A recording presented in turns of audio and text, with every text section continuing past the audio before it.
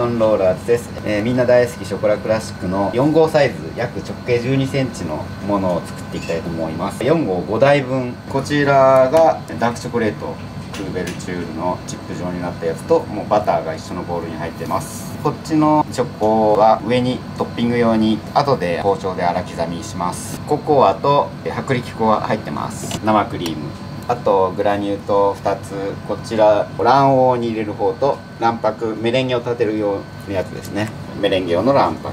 無味無臭のあの油が入ってるスプレーを軽く。チョコ紙です。はいこのバターとチョコが入ったやつは湯煎にかけて完全に溶かします。で生クリームも冷たいとブツブツになってしまうのでこれも一緒に温めます。ボコボコに沸騰させないようにだけ気をつけておいてで必ず薄力粉とココアはホイッパーでこうよく混ぜて混ぜたものを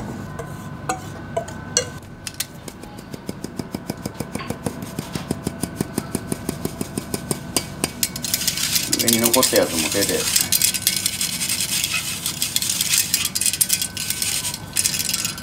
下に落としてくださ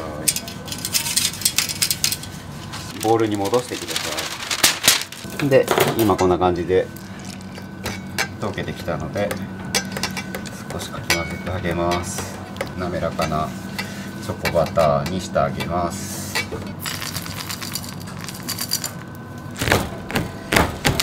粗く。このゴリゴリした食感を残したいのでそんなに細かくしなくてもいいと思います。でこれで準備が整いました。170度170度上火と下火は同じ170度です。上火で基本焼きます。なので上火の出力火の強さですね。これを3にしときます。下火の出力はもうかろうじての1焼く時間は1時間15分。もう60分タイマーかけておきます。もう忘れないように。今日使う卵類特に卵黄は常温に置いてある卵を使ってください。冷たいとこのチョコバターを入れた時にあのブツブツになったりもう滑らかな生地ができないのでなるだけこのメレンゲを入れる前までに作るクリーム生地を温度を落とさないようにこしらえるのがポイントっちゃポイントですね背の高いショコラクラシックを作るにはこの生地の温度を落とさない冷たくしないっていうのがポイントです。もう粒がない感じで滑らかにこうサラサラになったのでこれで仕込みに入ってきます。ちょこっとだけまあ入れてよくみんなやるのはこう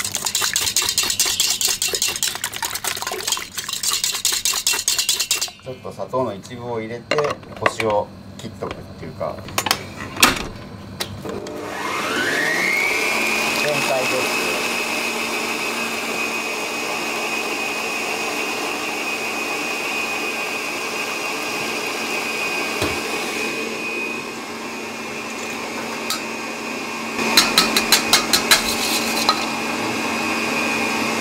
ますでグラニュー入れます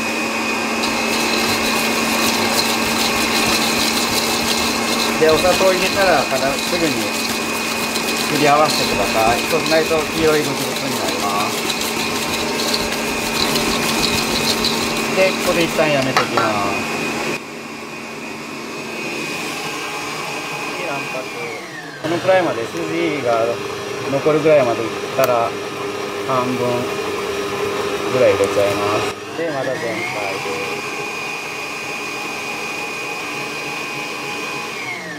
すはいさらに今こんな感じできめ細かくなってきたら残りを全部入れちゃいます。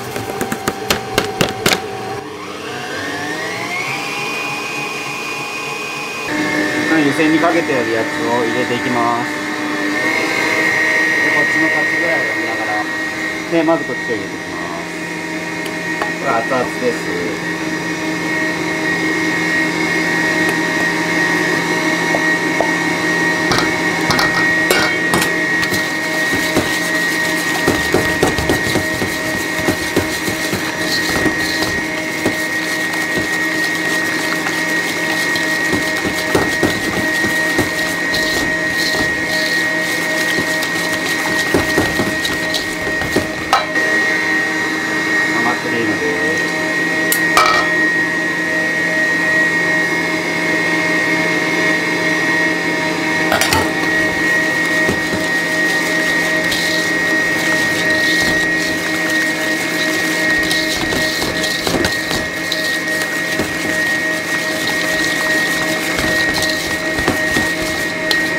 この時点でこのくらいもうシャバシャバした状態がいいと思いますで開けてみて全然温度を感じないようだったら湯煎にかけてくださいこの時点でこうほんのりあったかいぐらいがベストですなぜかっていうとメレンゲ冷たいからこれを入れるとあの固まってしまって浮かなくなります。で保険のために湯煎でちょっと温めます。ボールがでかいのでこれで。で。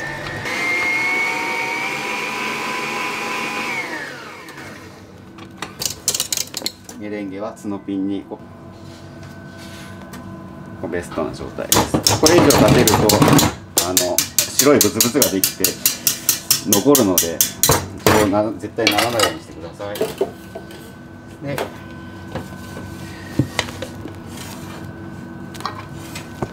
半分ぐらい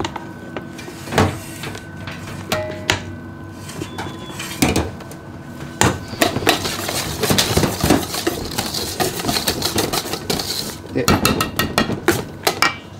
粗く合わせて全部入れちゃいますあ2回に分けてだったな。忘れちゃった。2回に分けて粉気がなくなったらまた入れてってやつだ。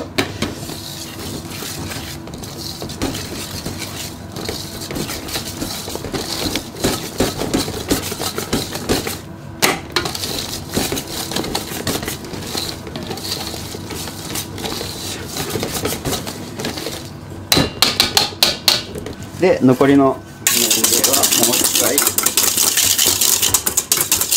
綺麗なホイッパーで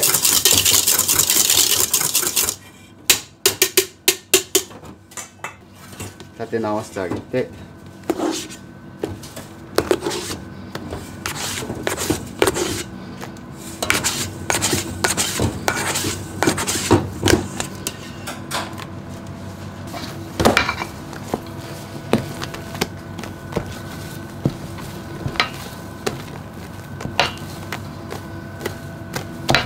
でボールは大きめの方がこうかき混ぜやすいと思います。あんまりこうぴったんこの小さいやつだとこう混ぜるとこう周りにビチビチくっつくので大きめのボールをチョイスしてください。で大きい塊は焼き残るのでなるだけかき混ぜてる間にこうチェックして塊があったら混ぜ潰してください。であまりいじると逆に今度メレンゲ死んでしまうので。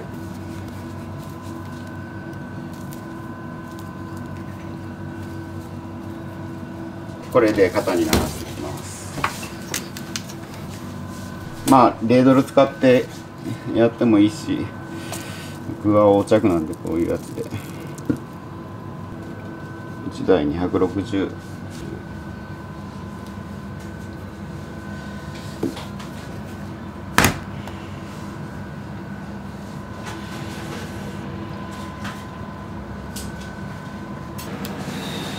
生地は適量を振り分けてください。でこれはスポンジみたいにあのバンバンとかやらないのででこいつを振りかけていきます。で真ん中にあまりこう粒がいかないようにしてください。こうまあうちでは切らないですけど買った人が切る時切り真ん中にこう硬いのがあると切りづらいのでで生地が冷えると浮きが悪くなるので手早くどんどん仕事を進めていってください。で下点を入れます。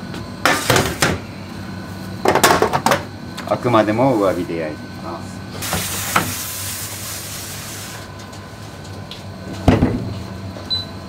で1時間15分。で1回もあのオーブンを開けないです。あの怒ってしまうので。60分経っても開けない。開けないです。怖くて。開けたことない。はい1時間経ったのでこれで延長で15分入れます。で今の状態はこんな感じでまあ1回上がって落ち着いたってことですかね。はい。仕上げの15分きです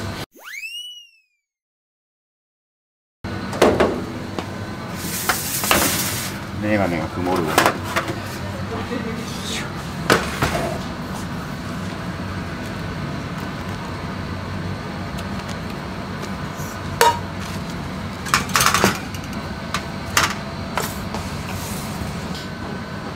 冷まして飾り付けをやっていきます星口金のトゲトゲが8個あって10ミリっていうちょっと太めのサイズの。